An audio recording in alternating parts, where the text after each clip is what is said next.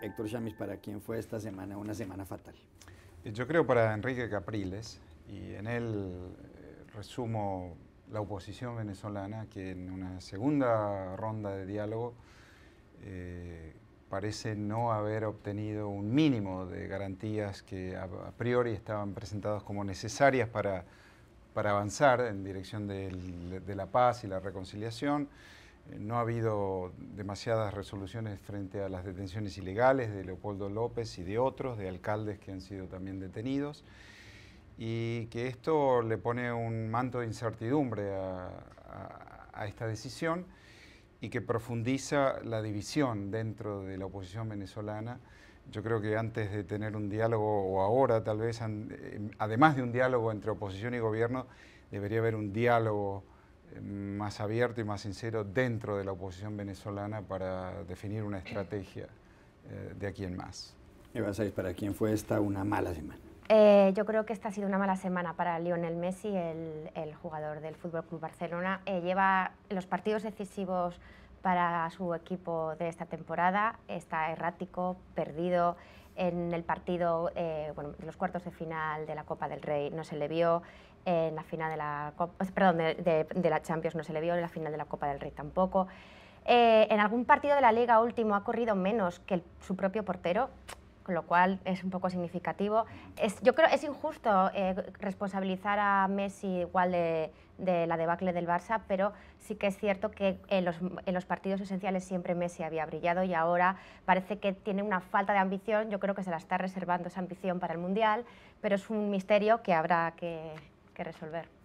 José Jaime Hernández, ¿para quién fue esta una mala semana? Pues yo creo que fue una mala, una trágica semana para el capitán del ferry coreano Lee Jong-suk, un ferry que eh, se hundió frente a las costas de Corea del Sur y este capitán Lee Jong-suk se ha convertido en el ser más odiado eh, de Corea y posiblemente en el mundo en esta semana porque se da la circunstancia de que el capitán abandonó el puesto de mando y dejó prácticamente a merced de los elementos centenares, había casi 300 estudiantes que salían de vacaciones eh, el capitán eh, prefirió huir eh, de la tragedia y dejando detrás una, una de las más dramáticas historias de muerte y desconsolación porque en estos mismos momentos que estamos hablando hay familias que siguen frente a las costas esperando que los equipos de salvación, de salvamento consigan rescatar a sus hijos vivos. Todavía hay esperanza de que estén vivos